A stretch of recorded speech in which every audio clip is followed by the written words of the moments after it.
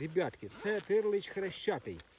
Це рідкісна рослина, можливо, навіть перша з території Сеймського регіонального ландшафтного парку.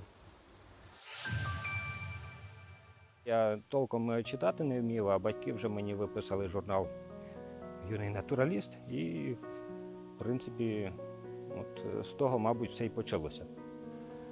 Мене звати Сергій Панченко. За фахом я е, ботанік, вірніше геоботанік. Вивчаю е, поширення рослин на поверхні нашої планети. Чорних ягід не їмо. Це крушина ламка, е, надійний проносний засіб. Працюючи в різноманітних природоохоронних проєктах, зокрема в обох національних природних парках Сумської області, в Деснянсько-Старогуцькому і Гетьманському, хочеться запровадити сучасний природоохоронний менеджмент і на цій території. Разом з друзями ми намагаємося проводити різноманітні заходи, які би сприяли б з одного боку популяризації природоохоронної тематики, і з іншого боку безпосередньо Сеймського регіонального ландшафтного парку. Проводимо змагання із спортивної орнітології. Е, Тут можуть брати участь е, сімейні команди, і за цей за день вони мають сфотографувати якомога більше пташок. От і переможця ми оцінюємо не тільки по кількості сфотографованих птахів, а й по тому, наскільки вони якісно е, їх визначили.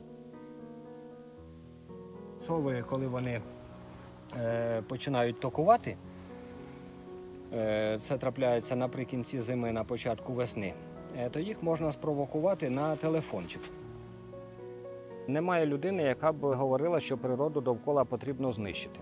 Професійні ботаніки в першу чергу проводять регулярні спостереження за тими природними комплексами, які є на тій чи іншій території. Це можуть бути цінні якісь природні території, наприклад, е, старовікові ліси.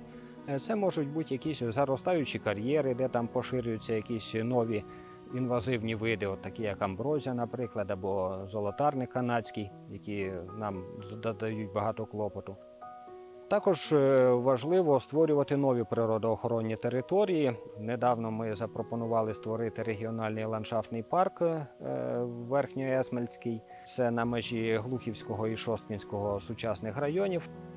Питання охорони природи вони стосуються всього, що навколо нас є.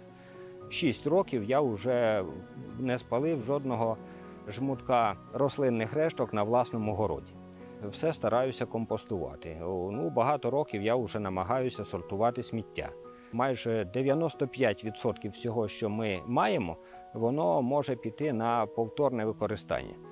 І кожен може дати якомусь е, предмету е, друге життя.